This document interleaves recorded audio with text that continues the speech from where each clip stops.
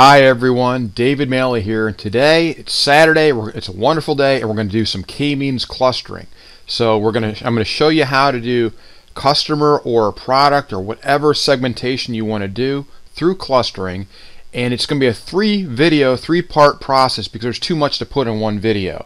This would be a very long video if I put it all in one.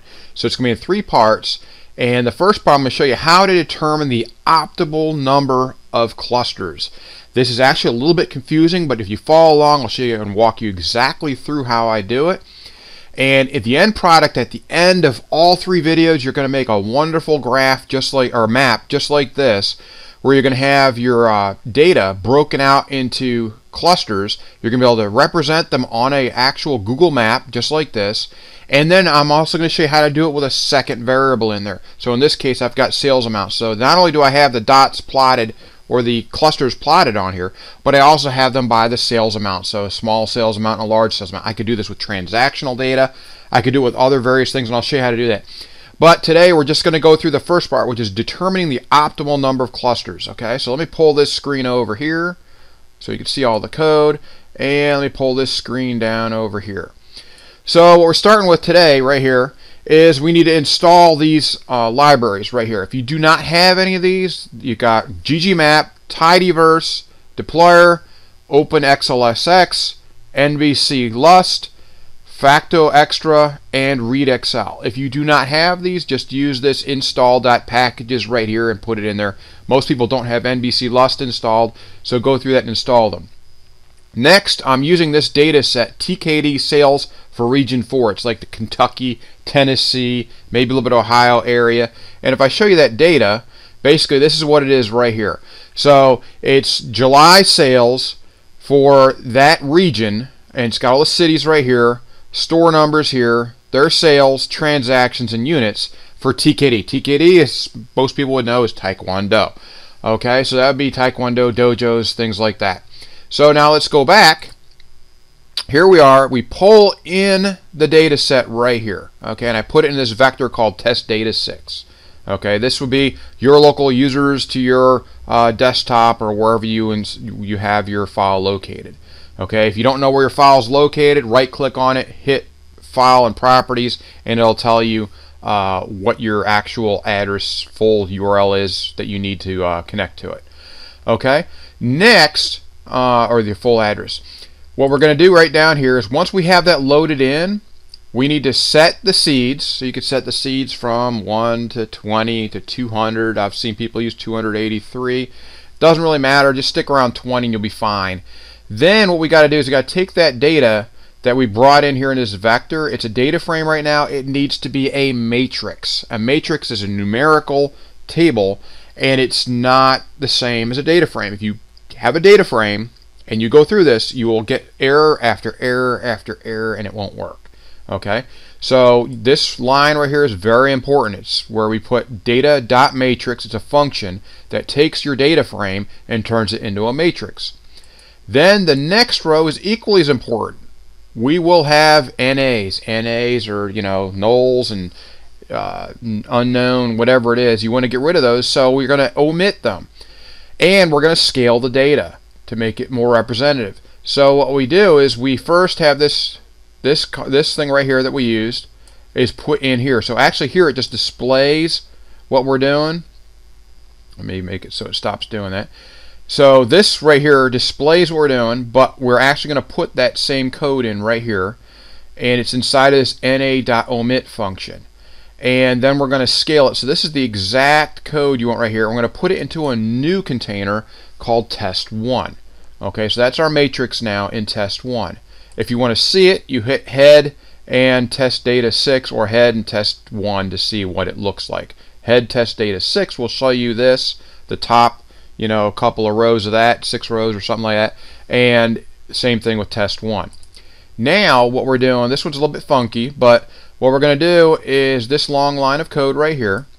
And what we're going to do is there's a function here where we're going to determine the seeds and the NC value. And what we're going to do is just like this, just type in the code exactly like this. And it goes through a loop where it's going to set the seed. And what it's going to do is it's going to do a k-means test or k-means on this uh, test one that we created right here within the sum of squares. Now, what that does, it's a highly reliable way of looking at different cluster amounts, okay? And then what it's going to do, it's going to plot it right here. You can see this. And it'll have the uh, it labeled the number of clusters and within groups sum of the squares. Now, it may not make a lot of sense. Just copy this and paste it in, and I'll show you. Uh, so what we're doing here then is you do this WSS plot and what this does is it's actually going to create the actual plot for that. So let's make sure we have this data in. Let me show you. So let's see, do we have test data 6 in here? Let's go up here real quick. Yes, we do. We have it right there. So this is going to show in here. So what I want to do is after that's done, we could actually just do this once that's done. And hit control and enter. Give it a second. There it is. Boom. And we can bring this bigger this way. And this is the first original sum of squares plot. How this works is you look for the elbow. And it's not necessarily, this is not the elbow, this is not the elbow.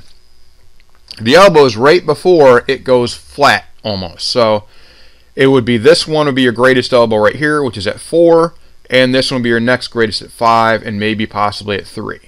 And then from there, you look at other areas where it goes back up or something like that. But you, your biggest one is right here, and you don't want to go and look at like 20 clusters. Uh, you look at 20 clusters, it's very hard to differ. Uh, you could, but in most data sets, you're not going to want to look at 20 clusters. If you have a humongous amount of data, then you might want to do that. But you're going to look at four by that one. Next, so we've done that. Next, I've got three things right down here. And remember we brought in that NbClust up here? This uh, package right here, this library right there. Okay, I want to use that because I don't want to just use one test or one way of looking at this. So what I've got right below here is I've got three different ways through the NbClust. You can so you can see right here, NbClust is used in each one of these. So it's fviz underscore NbClust. Don't worry, I didn't name this. Somebody else did that created this package. On the test one, which is right here, this data matrix that we have, k-means method. So this one's going to look basically the same, and this because this is a within sum of squares. Okay, so if I take that one and I run that one, watch.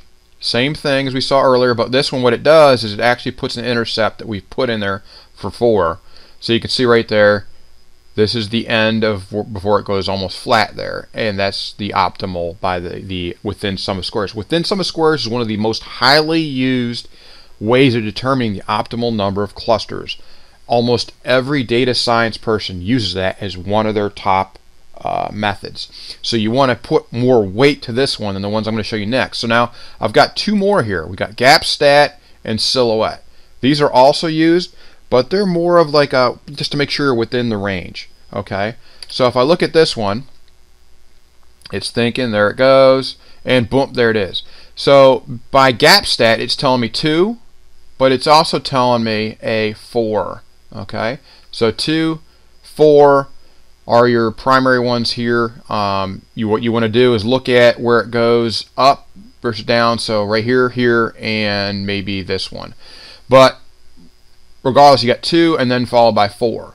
Next one, I mean, there's a better explanation you can get for these things if you want. This is quick, dirty, just to get you going and rocking on making clusters, okay? That's the whole purpose of this thing is to get you up and running with this.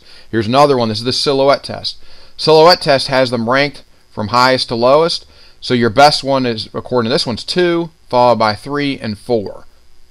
Okay? Do you notice how 4 comes up in all these? So 4 is in the higher weighted ones, these guys. Okay? So if I take this again, or the other one, it doesn't matter, and I put this one up, there's my 4 again. So I would weight the within sum of squares at 80% and the other two at the other 20%. And when you look at that, that's telling you 4 is still showing in this one and it's still showing in this one. So it's not as the number one choice, but it's the number three or number four choice in those two, and it's number one in these. So I would definitely go with four. So we've done right there is shown you how to go and determine the optimal number of clusters very quickly, very easily. The code is right here for you to do this. Again, what you do is you load in your data set, you uh, pick your data in here, bring it in, put it into a data matrix, pick the set seeds for, in this case, 20.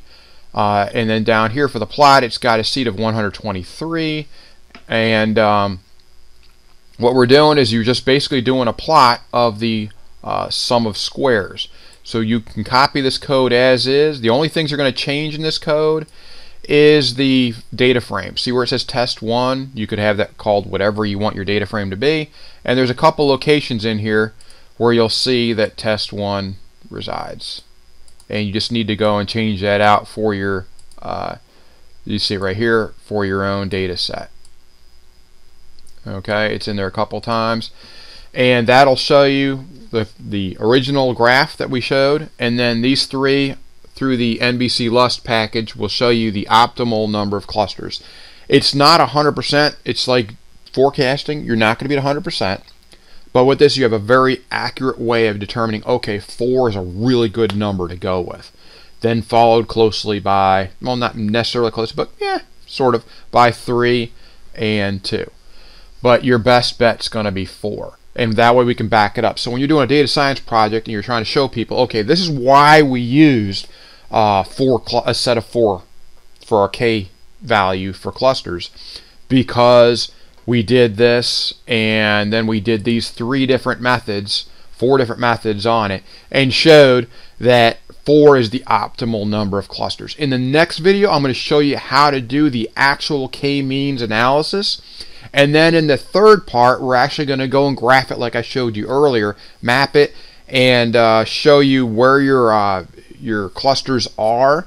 And you can go and use different variables to try and pull different insights from that data. It's really cool once you put that all together in a package, and then you you can use um, various other packages to make it presentable, um, and then give that to your uh, your requesters, your audience, your director, your uh, VPs, whomever, to show them this is a whole breakdown of clustering for this data. That's clustering is a very important part of data science projects to determine the original cluster size and pull further insights from that data.